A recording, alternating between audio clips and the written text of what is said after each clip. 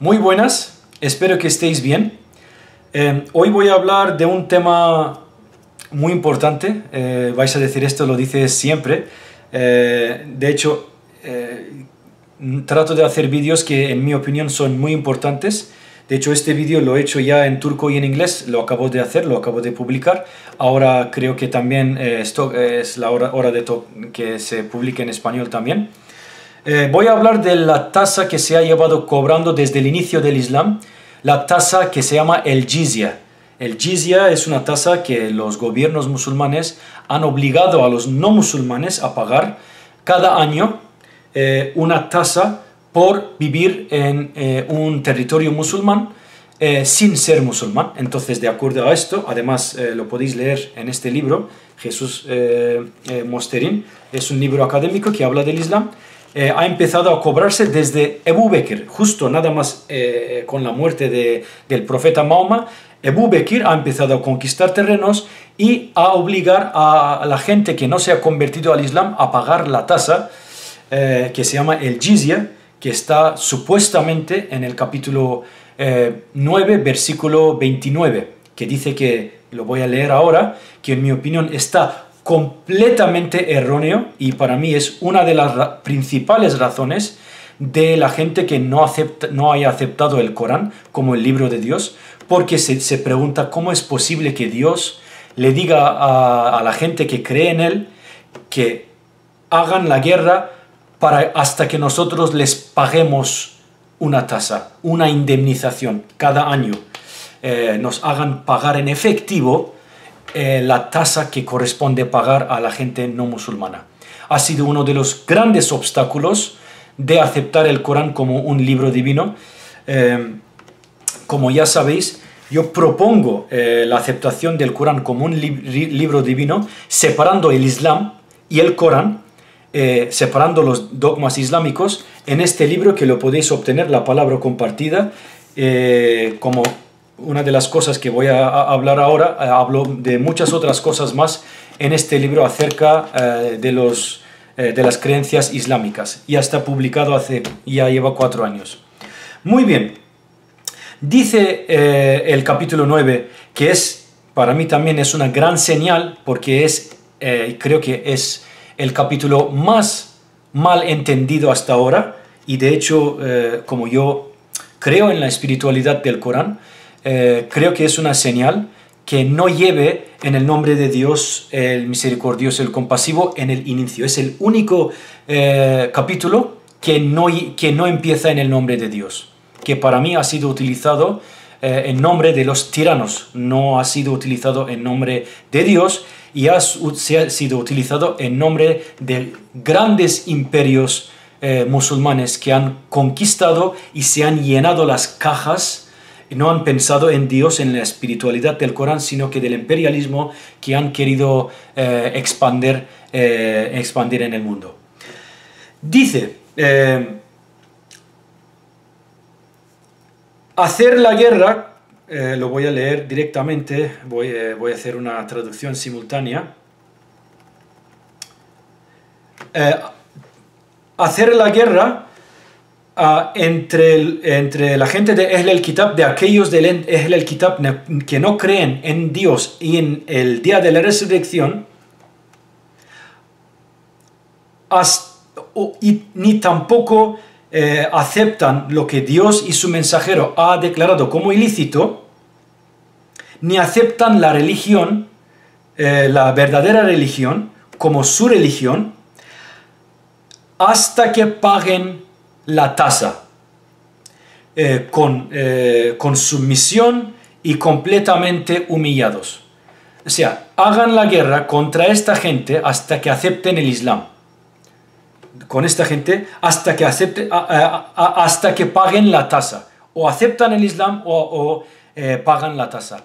Hagan la guerra contra estos. Entonces, la palabra el jizya el jizya, se ha, entendido la tasa, que paguen esa retribución. Cuando pagan la tasa, entonces vale, ya no vamos a, haceros guerra. Solamente pagar el dinero, danos el dinero. Ese es el entendimiento del Islam, el entendimiento tradicional del capítulo 9, versículo, capítulo 9, versículo 29. Amigos míos, eh, la palabra jizya, jim, za, ya, esta palabra proviene de la palabra jaza. Jaza en árabe significa castigo. Por ejemplo, en el mismo capítulo, en el verso 26, habla de la guerra, habla de la guerra, eh, como sabéis, los kafir atacaban a los eh, creyentes, les mataban, les quitaban de sus casas, y está hablando el contexto del día del Hunayn. Esta gente creía que los creyentes iban a estar con los brazos cruzados y no iban a hacer nada a, la gente, a las cosas que hacían, las maldades que hacían estos kafir, que les, les mataban a sus hijos, a sus mujeres, les violaban, les quitaban de casas. Esperaban que los creyentes no iban a hacer nada. El versículo está diciendo que no, que no esta gente os ha hecho esto y Dios os ha ayudado. El capítulo el versículo 26 dice, Dios ha enviado eh, su sakina, eh, es una tranquilidad, es una fuerza, tranquilidad que da a la, gente que cree en Dios y a, los, eh, al profeta y a los creyentes y les ha ayudado con las fuerzas les ha hecho descender fuerzas del cielo, que eh, ellos, que tú no puedes ver. Y así ha castigado a los kafir. O sea que habéis hecho la guerra. Así, este es el castigo, jeza. ul kafirin. Esta es la, el castigo de los kafir está hablando el contexto de, eh, de decir a los creyentes que no esperéis así, que no esperéis con los brazos cruzados. Con esta gente, hasta que la paz sea su din, el din significa, eh, eh, la, la, religión verdadera, Islam significa paz. Cuando hasta que esta gente tenga su camino, su filosofía de vida, el Islam que significa es la paz, entonces, hacer la guerra contra esta gente hasta que, ahora podéis hacer hasta que paguen por lo que han hecho. Es una expresión que se usa, yo conociendo la lengua turca, la lengua inglesa, lo conozco español, italiano. Es una expresión de decir hasta que paguen lo que han hecho hasta que sufran el castigo por lo que han hecho. No es que le, Por ejemplo, es decir, hay una persona en la calle robando, pegando a la gente, y alguien dice, chicos, hey, vamos a, vamos a enseñar a este, vamos a darle una paliza para que vea, para que pague por lo que ha hecho, por todo lo que ha hecho a nosotros, que nos ha robado no sé qué. No, le, no es que tú le vas a obligar a pagar cada año una tasa, no le estás haciendo firmar un contrato o le dices, mira, le vamos a coger, le vamos a agarrar y le vamos a llevar a la cárcel para que pague por lo que ha hecho. Ese es pagar el yezá, el pagar el castigo. No tiene absolutamente nada que ver con una tasa que hay que cobrar eh, de, de la gente que no cree en Dios. Es completa. Además, además, si fuera así, que no lo es, pero si fuera así, en el versículo la gente diría, ¿y cuánto les vamos a pagar? ¿Por cuántos, les vamos a, ¿Por cuántos años les vamos a seguir pagando? Si ustedes eh, leís, si vosotros leís los versículos que eh, viene después de 29, 30, 31, no dice absolutamente nada. Os tienen que pagar eh, cada hasta 5 años o 10 años. Es tal cantidad de dinero o tal cantidad de oro. Nada. No dice nada no tiene nada que ver con el pago de un impuesto, una tasa que se cobra, sino que, es decir, no, no, no, no estéis así. Hacer la guerra con, esta gente que os ha hecho tan mal hasta que paguen la retribución, hasta que paguen por lo que han hecho, a los creyentes. Además, si veis el capítulo 23, versículo 72, capítulo 23, versículo 72. Vais a ver con vuestros propios ojos la contradicción que hay, el, el entender, si entendemos la palabra el jizya como tasas, Si vamos a entender así, vamos a ver la gran contradicción que hay en el Corán. Supuestamente entenderlo así crea una contradicción enorme del Corán y de cómo piensa Dios. Porque en el capítulo 23, versículo 72, dice, Dios dice, habla a Mahoma y dice, ¿acaso tú les estás pidiendo un, una tasa? ¿Es por eso que no, le estás, no te están creyendo? Leer el contexto eh, del capítulo 23, versículo 72. Leer el contexto.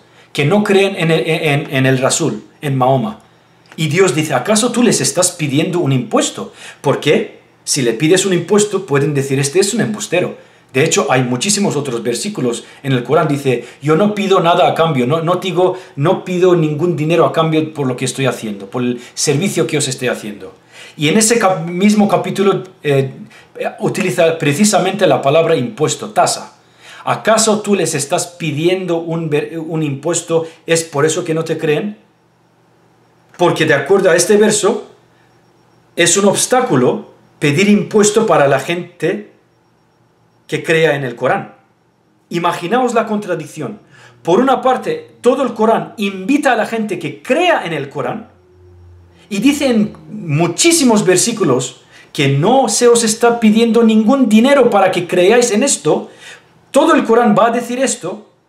Sin embargo, en el capítulo 9, versículo 29, donde aparece la palabra Jeza, va a decir hacer la guerra si no aceptan el Islam pues haz la guerra contra esta gente hasta que paguen su retribución, eh, aceptándolo todo. Si aceptan el Islam, entonces ya no lo cobras.